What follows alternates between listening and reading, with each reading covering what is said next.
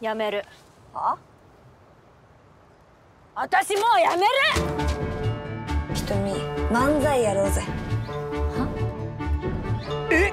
瞳芸人やってんの？お願いしま結婚するって噂も？男の浮気発覚って噂は聞かなかった？赤子って？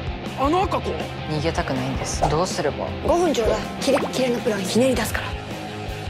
教室な水槽もいいとこなんだよ。先輩。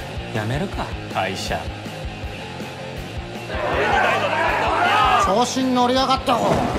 勇気は出すためにあんじゃねえのかよ。お前何触ってんだよ。ふざけんじゃねえ。社長！社長！親の金で食ってるくせに笑わせないでよ。私はお嬢様じゃないからさのんきに夢語ってるだけじゃ生きていけないんだよ。そんな風に思われたんだ私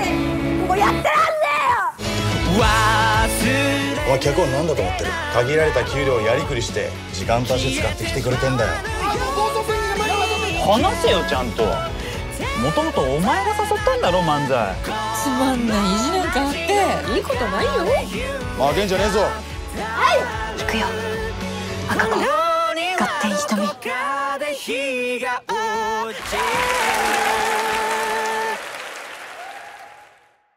予算あるんだなお前が予算の話すんじゃねえよ。すいません。すぐ金の話する。まあそういうとこあるぞ。すいません。直せ。すいません。直せ。